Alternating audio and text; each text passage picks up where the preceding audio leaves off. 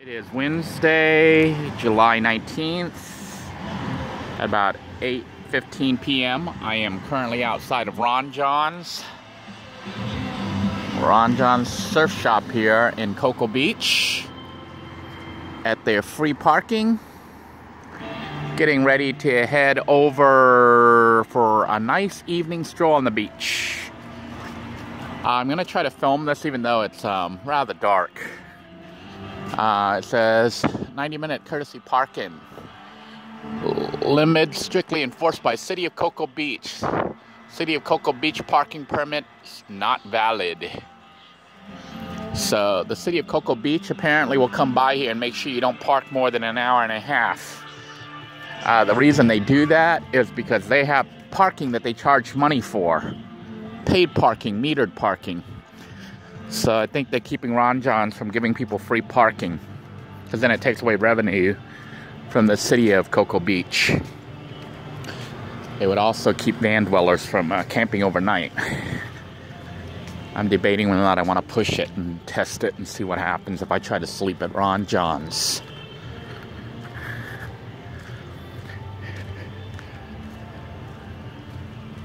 I may try it.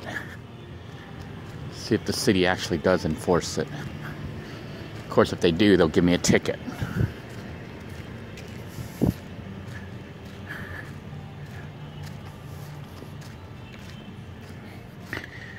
It is dark. Now, interestingly, um, what is it? About 8:30 right now. 8:30 p.m. It doesn't seem as scary here at the beach side at 8.30 at night. You know, I hear some of the same sounds I hear out at the yurt. It's weird. It's like here the crickets and the little weird bat sounds or whatever you hear don't sound so scary. But out at the yurt, you, you get like visions of the skunk ape or you know crazy armadillo with um, what is that stuff? Leprosy? Charging at you. You know that's that's what i picture in my head at least when i was out there walking around in the woods in the dark. Um, i think i like it better here. Out in the open on the the the city here. This is uh, what ron Jon's looks like at night. We got the flags here United States, Florida, and um, I don't know what that red one is.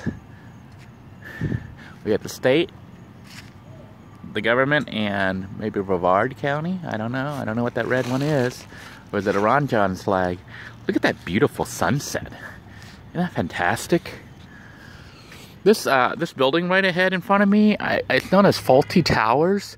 It used to be a nude motel or nude um, resort. I don't think it's nude anymore. I don't know because I see that they've opened it up and sometimes you can see people sitting out there. But used to be one of the few nude resorts around here in um, Brevard County in um, Cocoa. Let's see. For those of you who've never been in this area, um, this this section that I'm at is actually at the end of um, State Road 520. If you come down I-95, then you take 520 east. This is uh, this road right here that you're looking in front of me. I think it's this road, or the next one over. Anyhow, that's the end of 520. And, um, yeah, I think it's the next road over. It's the end of 520, and it ends at um, Cocoa Beach. And if you head down A1A, which is this main road right here, um, you take a, if you head A1A south, you'll hit Ron Jon's within a block. And then um, this whole section right here is um, all touristy. And if you go up north over that way, you're heading towards Port Canaveral, which uh, if you've been watching uh, the Living in a Van series, I've done some segments up there at Port Canaveral. Um, contemplating taking a shower here. I've done it before. I don't know if I showed it in a previous segment, but um, this is the showers behind Ron Jon's. Um, it's for beach showering. And I've showered here before when I was living in the van when I first went began my journey. Um, just to show you what they look like here. I know you can't see anything. I don't think my light's on. Yeah, I have my lights off because I didn't want people seeing me shine the light, but let me try to find one with lights. This spot right here with light. There's another one. There's a whole bunch of showers. You push the knob. I don't know if you can see the water coming down there. It's a nice shower. So I might try to take a real quick shower. I haven't had a shower in two days. Whew. Uh, I'm beginning to wonder if I smell like a skunk ape. Maybe that's where the skunk ape came from. It's just some Asian dude running around in the woods smelling stinky because he hadn't showered for a while. Huh. So here we are going to the beach access. During the daytime, they charge parking here um, at this beach access. I'm not sure if you can park here at night. It says no glass, no dogs, no littering, except for wheelchairs, no motorized personal mobility devices allowed. I guess that even includes those scooters. This whole parking lot right here, which you can't see, is um, paid parking by the city of Cocoa. Anyhow, it is getting too dark on the video here for you to see anything. And so for kids. But it is um, a little too dark to see anything, so I think I'm gonna go ahead and shut the video off. Unless you just want to listen to my commentary in the dark. Until next time, everybody. Have a great night. Take care. Thanks for joining me. I know from your perspective you're seeing pitch black, but there was a spectacular lightning. There's still some more there. I don't know if you can see it in the distance, but there was lightning that lit up the entire sky and it lasted for like two or three seconds. And I missed it, of course, because I had the video camera off, which is why the camera's on now. This is the beach and the water. I guess the only way to show you anything is to point it up close where the camera light can shine down and show you the waves coming in.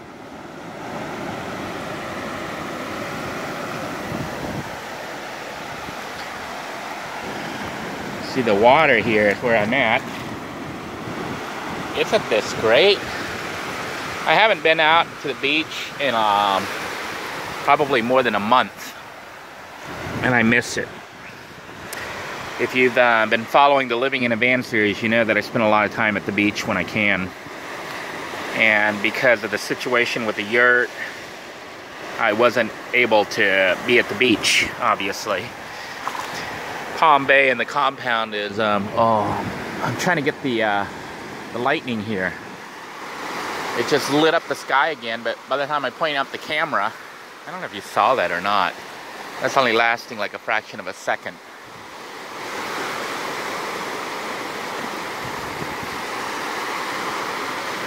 I hope you're not hearing too much wind noise and can actually hear the ocean here.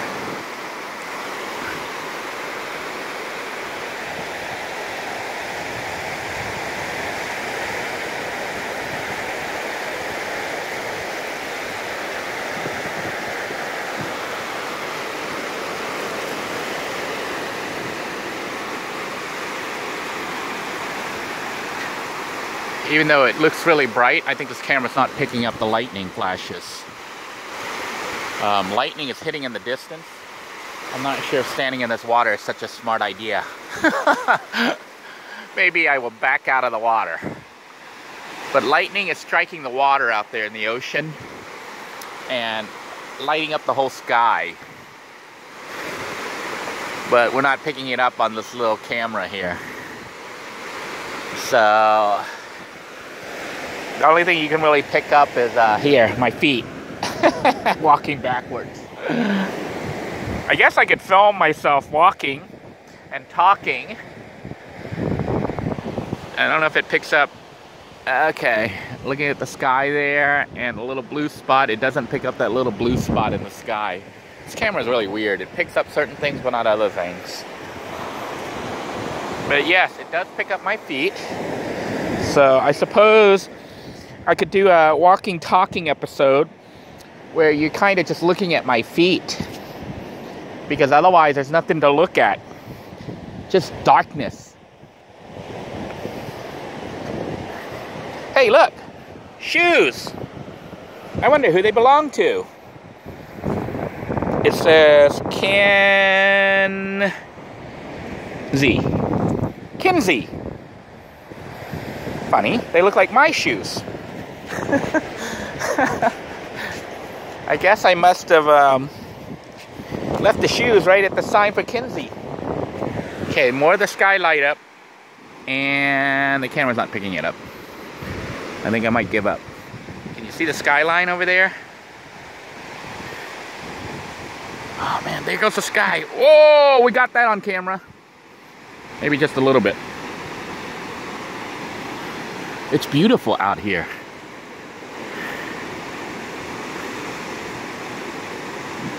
The lightning is just like hitting the water and the whole horizon is lighting up um, kind of a pinkish orange color.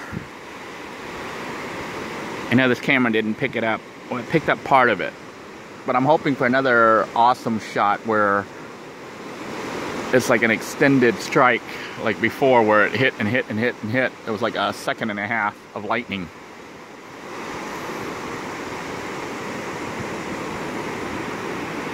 Still some little minor flashes, but I don't think they're showing up.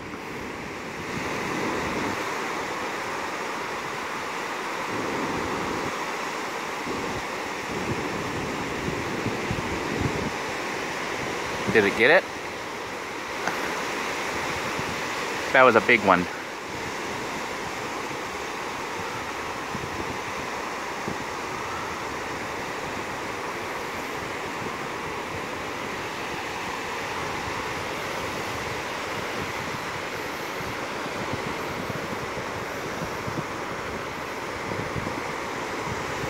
I hope the, the wind noise is not being picked up by the microphone or this video is gonna be hard uh, to watch or listen to. There is quite a breeze blowing.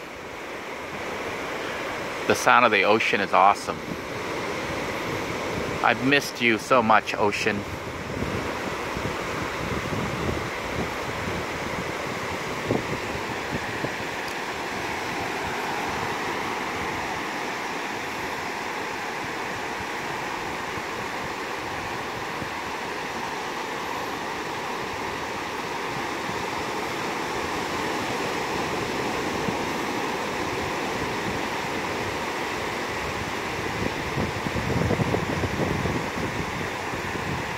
Trying to tilt the camera so the um, the wind doesn't hit the microphone directly.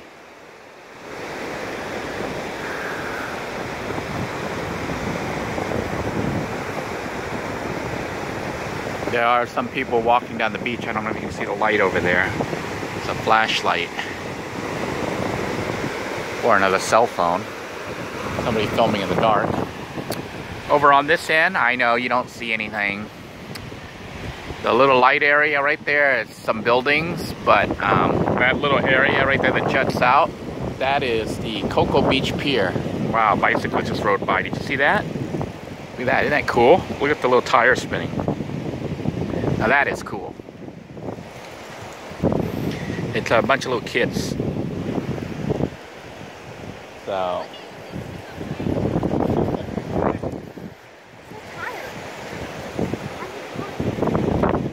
Don't bicycles look cool in the dark on the beach? That is awesome. So those people that I saw with the lights there were um, bicycles. The Bicyclists, a whole group of them, like a family. Um, it was really cool to watch them spinning by though, that was neat.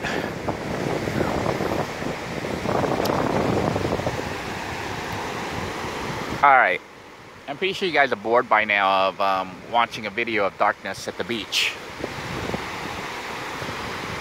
I wish the camera could actually pick up what I'm actually seeing. Um, it is pretty much dark, dark because the moon's not out. But in real life out here, it's not pitch black like it would be at the yurt. It's kind of, um, I would say like 90% dark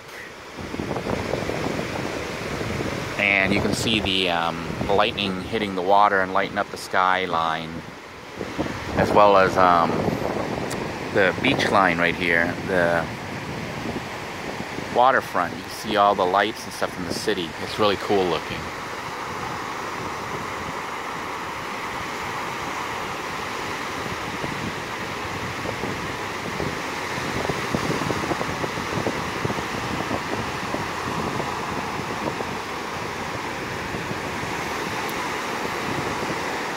Anyhow, I think I'm going to call it a night and um, start to head back because it looks like my camera's not really going to pick up those awesome lightning flashes. They really are awesome. I wish I could share them with you guys. So I think I'm back down to just filming my feet.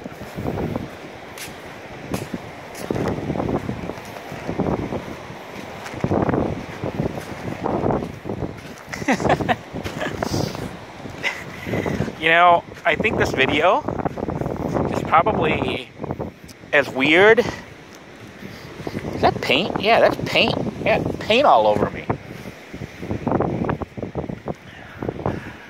I think this video is as weird as the one where I'm pushing the um, the porta potty down the compound. When I discovered the porta potty and I was trying to figure out what to do with it, and I had a brilliant idea to push that porta potty to Camp Freedom 2.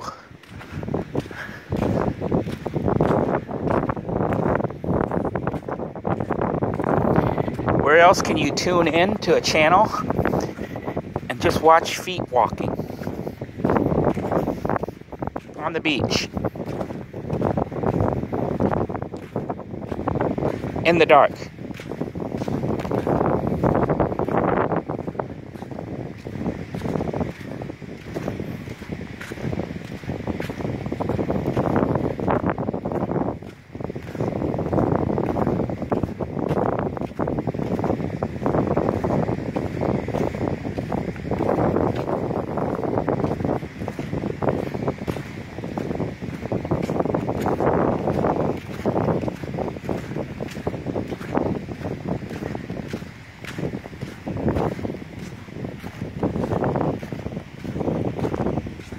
Keep expecting the skunk ape to jump out at any moment.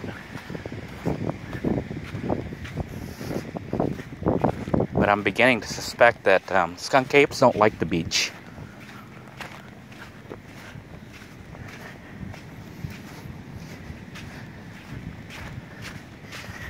All right, we are on the boardwalk.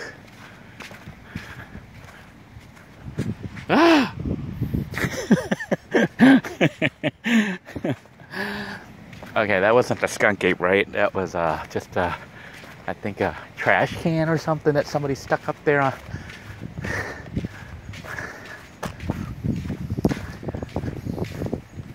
Uh, just in case you uh, find yourself out this way, I want to let you know there is um, washing areas here. They have showers you can use.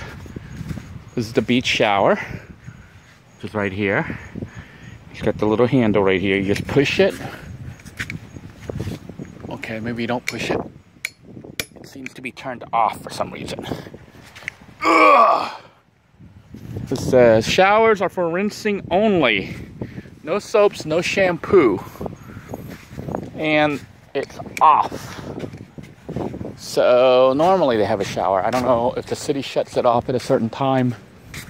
There's the um, gate where they they have a truck blocking the gate so they don't want people here at night. At least not parked in the city parking that they charge money for. But I suppose you could do like me and park at Ron Jon's and um, just walk over here. It's like a block away to the beach.